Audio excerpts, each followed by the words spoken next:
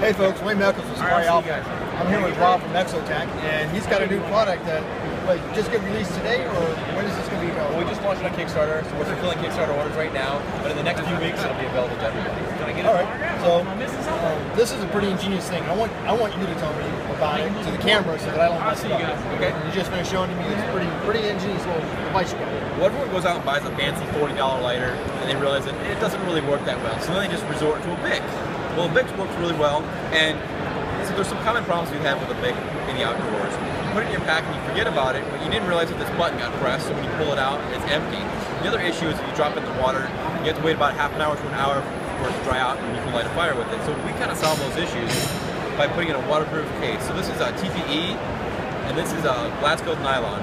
Very high quality materials, and when you cap it, this is waterproof. We've actually tested this down to 30 feet over overnight, 24 hours. It's completely dry in the morning. What's also nice is this cap keeps the button from getting pressed. And one really cool feature that we came up with was uh, what we call the gas lock. So when you're lighting a fire, it's really hard to hold your thumb on the gas button, but now you don't have to do it. You can just pull the sleeve up and then light it, and it'll hold it down for you.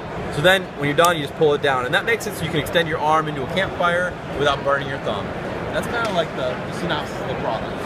No, it's a ingenious little device that you got there. It's going to come in very handy because you know if you've ever done primitive fire starting, that is Bic lighter appreciation. Yes, absolutely. This is easy as it gets. All right.